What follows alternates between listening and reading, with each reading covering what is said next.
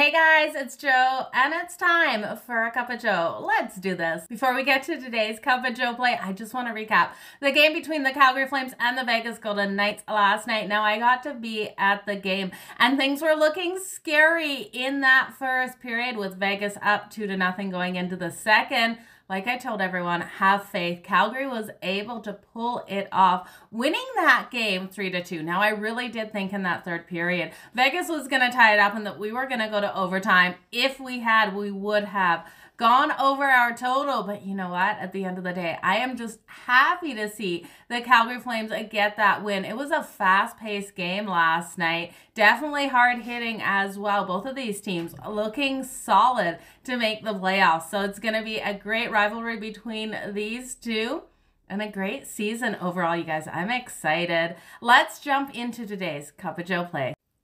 So for today's Cup of Jo play, we are looking at the matchup on the diamonds between the Philadelphia Phillies and the San Diego Padres. Now we know the Phillies were able to pull off the win yesterday, and they'll be starting Aaron Nola here.